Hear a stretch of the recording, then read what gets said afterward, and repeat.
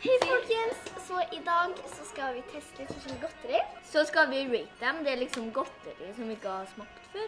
Eller sett før. Ja. Ikke sant? Ja. Ja. I denne filmen får dere se hvordan det gikk da Skrivesenteret ble med på vlogguke på femte trinn. Vi er tre stykker, fire stykker faktisk, fra Skrivesenteret i Trondheim. Er det noen som vet hva det er for noe? Vi begynte med å vise en del modelltekster, og lot elevene jobbe med flere enkle øvingsoppgaver. Men hvem syns du Petter, fortjener den hundrelappen her av oss to? Av oss to, jeg tenker at uh, det kunne vært en lang diskusjon på, men det er kanskje dere skal få lov til å gjøre isteden. Nå skal dere lage en film der dere diskuterer kort hvem som fortjener den hundrelappen her. Vi klipper det, så bare OK. ok. Uh, hallo, alle sammen. Vi har nettopp funnet en hundrelapp på bakken. Vi hva vi skal gjøre med den. Så skriv i kommentarfeltet. Nei, du skal det, da!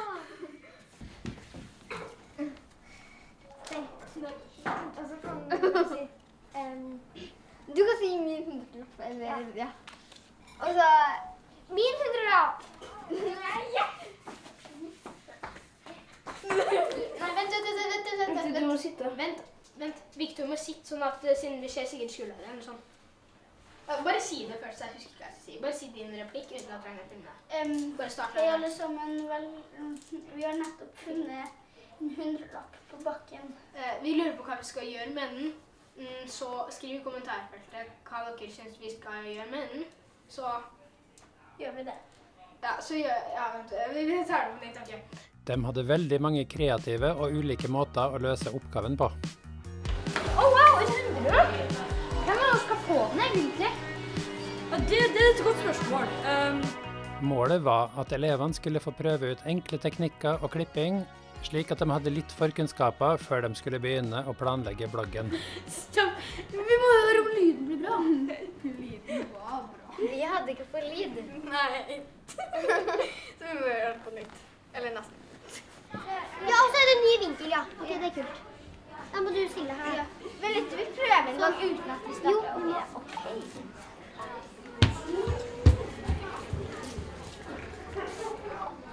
Ja, bra. Så vi bare på her. Både vi og lærerne var tett på elevene i planleggingsfasen. Vi finner opp og går mot døra, og så finner vi på andre siden. Det er viktig at elevene har en god plan før de begynner med opptak. Vi erfarte at elevene trengte litt tid for å finne ut hva vloggen egentlig kunne handle om. Vi skal ha godterikveld. Simone skal kjøpe godteri i dag. Liksom thailandsk godteri. Og så skal vi spise det, og altså, vi skal også si hvordan det smaker. Og vi skal dokumentere. Samtidig opplevde vi at elevene kjente vloggsjangeren veldig godt fra før. Og så må, nei, vi må ha fire, for at på fjerde scenen så gir vi terningkast. Nei, nei, og så skal vi liksom si liksom, ha det. Ja, men det gjør vi på samme terning. Nei, scenen som fire, da, så vi trenger bare fire Eh, scener. det kan jo være nær vet du. Ja, så der kan det være nærmere, og- da. Fordi da skal vi jo filme godteri på nært hold. ja, og så skal vi vise. Vet du hvor vi finner um, produktene til First Price? Som, to, som ting som Kiwi går i. Rema. Nei, ja, Rema. Vi har ordna en tabell her, eh, fordi vi har sjekka om vi klarer å eh, smake forskjell på First Price og eh, sånn dyr. da. Eh, og i hvert fall på noen viste det seg at det egentlig smaker helt likens. Ja, på Maria. Ja, de her to var helt likens. Bare at den der var litt brunere enn den der. Ja, og, men så jeg ville nesten heller ha kjøpt den der, fordi det er to pakker i den der. Den der sjokoladen var den beste. Nei, det var den verste. Den. Og den her er billig, og den her er dyr. Ja. Kan vi starte med den verste? Ja, det må vi. Men vi må planlegge litt. Vi er, I går så har vi vi, kjøpt vi liksom. eh, filmet at vi kjøpte den her. Sånn. Ja. Det her er inne i butikken. Litt mye støy i bakgrunnen, da. Men, Ja, men nå må vi, bare... på, vi skal jo legge på ting, da. jeg gruer meg til å prøve det her. Men det blir ganske mye klipping. Ja. litt feil Ja. noen. Ja. Så nå skal vi bare redigere og bli ferdig. Og kose oss. Mange av gruppene valgte å bruke vlogging til å utforske ting, mens andre gikk inn i ekspertrollen og lagde vlogger om f.eks. gaming. Eh, nå, eh, prøv, eh, nå skal vi filme at vi tør å spiller Brawl Stars. Og vi prøver å gjøre det litt ekte. Sånn at eh, det er sånn at vi prøver å gjøre sånn at det ser ut som vi legger ut. og sånn. Og så skal vi kanskje lage en YouTube-kanal. Ja. Så det skal være flere episoder, da? ja, kanskje. De kan se skjermen til Victor. Og så har vi, eh, eh, så har vi facecam der, og den tar opp lyden. Tre, to, én. Hallo. Jeg sitter her med Victor, Lionel, og det her er Ragnar. Eh, det her er den første Brawl Stars-videoen. Ja. Mm. Og vi skal prøve å vinne.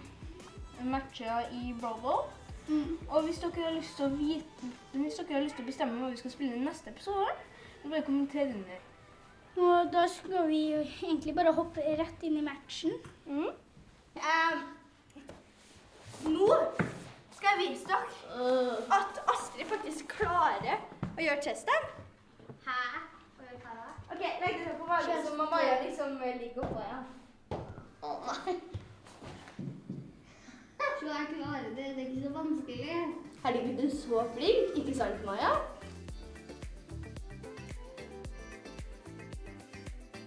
Vi har kasta en eh, volleyball, en sånn elefantball, håndball, eh, basketball og fotball på en sånn basketballklubb, og så skulle du skikke hva som var best å kaste med. Og det så ut som at det var basketball som var best å kaste med. Ikke Hva sa du? Ikke ta med de rare videoene vi tok når vi etter smakt dem. Eh, nå eh, driver vi og laster ned noen filmer som vi skal få inn på Chromicen, sånn at vi kan redigere. Eh, vi, det som har vært morsomt, er jo at vi har eh, smakt på forskjellig godteri. Det har vært veldig gøy. Og så eh, har vi lært oss litt hvordan man vlogger og sånt, og lager filmer. Ja, så det har vært veldig gøy.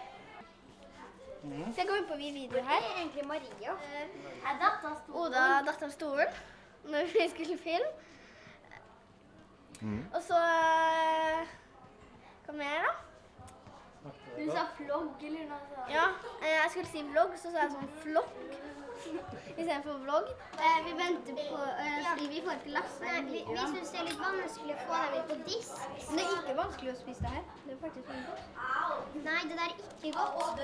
Jo, det er jo. Fisk. Se, det er tørka fisk, og den er grilla. Den er steinhard og steinfæl.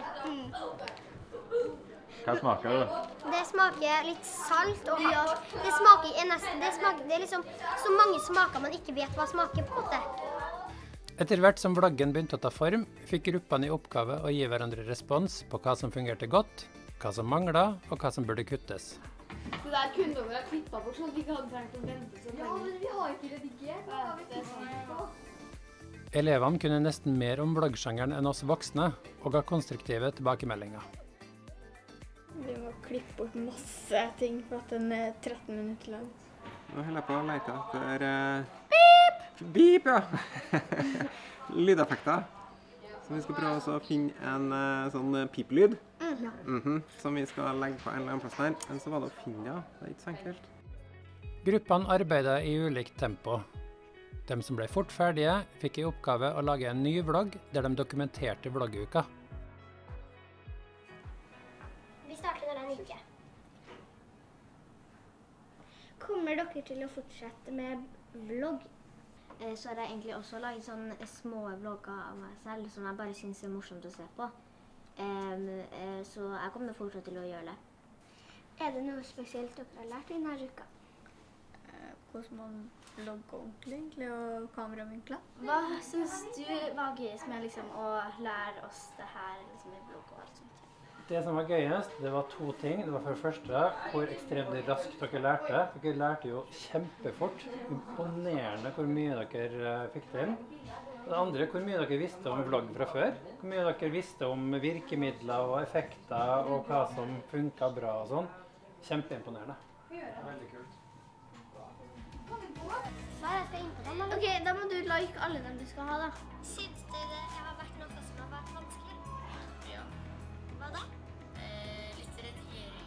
Ok, nå vil jeg intervjue dere. Jeg vil intervjue deg. Ja, men... ja. Er det beste jeg har vært med på. Malin, jeg liker dem. Vum, vum.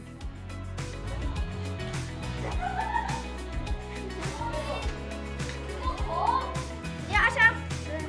Ok, dere kan synes jeg må gå. Ok, Malin, du må hjelpe meg. Veldig fornøyd. Ja. Vi hjelper oss om. Si litt hva dere har gjort da. Sittet og redigert i to dager. Nesten. Hater veldig. Um, ja. Det var gøy å lage det. Ja. Men jeg kan ikke si det. Klippa det kjempebra. For da kom det. Det eneste vi sa ut av manuset, var egentlig starten. Starten og slutten, egentlig. Men manuset var ikke så veldig eh, langt, så det var, vi måtte egentlig være ganske kreative midt inni når vi filma. Fall jukse veldig masse. Vi har ikke juksa så masse, vi, da. Men det er mulig. Men det, det gikk fint. Sånn, jeg tror vi har sånn Vi er grei. Vi er grei video nå.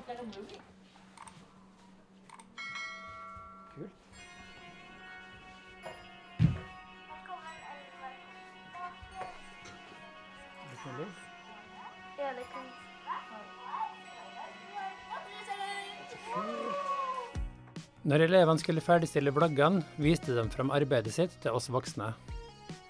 Vi snakka sammen om prosessen og stilte spørsmål. Hva har dere gjort her? Hvordan fungerer det? Hvorfor?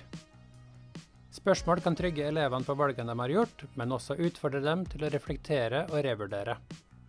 Er dere spent på å vise filmene dere også? Ja. Ja, litt. Jeg tror det går fint. Ja, det er litt skummelt, da. Og starten er ganske bra, for der har vi sånn subscribe-button. Det er noe egentlig bra å kan til man blir voksen, og det er gøy å lære om. Jeg tror det er bare flere og flere som blir populære på YouTube og sånne sosiale medier nå. Det har vært veldig gøy, og at andre bør få lære på denne måten òg. Eh, vi har lært oss å redigere, og så Ja. Og eh, film. film. Og feile. Ja, feile litt. Det er jo, man kan jo lage YouTube-kanaler og sånn av det. Det er jo mange som jobber med det, på en måte. Mm. Ja. Og så, ja. Man tjener ganske mye på det. Mm. Så man kan jo egentlig bare ha det som en jobb hvis man syns det er gøy. Så. Det er jo mye gøyere å ha sånn eh, liksom, temauke der du har et spesielt tema som du lærer om. da. Så det var ganske mye gøyere å ha sånne her uker enn vanlige fag. da. Så man får litt mer frihet med sånne uker. Hva skal dere bli når dere blir store? Fotballspiller. Jeg har lyst til å bli YouTuber. Er det noen som har lyst til at vi skal begynne med denne film? Vi avslutta prosjektet med en premiere der dem som ønska det, stolt fikk vise fram filmene sine på stor skjerm. Vi tegner. I dag skal vi tegne Spiderman.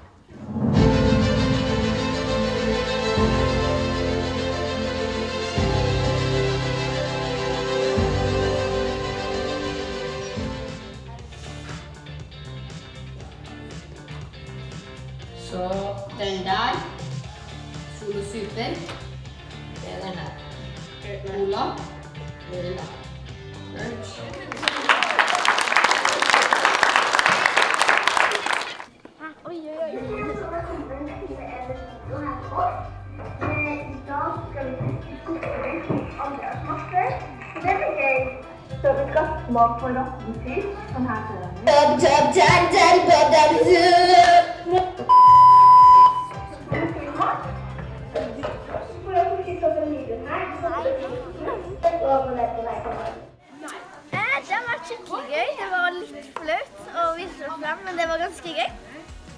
Det hadde vært ei hektisk uke med full innsats fra elevene, og da tenkte vi at det var på sin plass å gjøre litt ekstra stas på de unge bloggerne med en skikkelig premierefest. Det var ganske gøy å se de andre sine, fordi, eh, og se hvordan de har gjort det da. Så det var ganske gøy. Syns dere deres var bedre enn de andre sine? da? Det var noe, eh, nok noen som var litt bedre enn våre, da. Så der har vi noe å lære. Så kult. Men dere ser jo ganske bra, dere så da.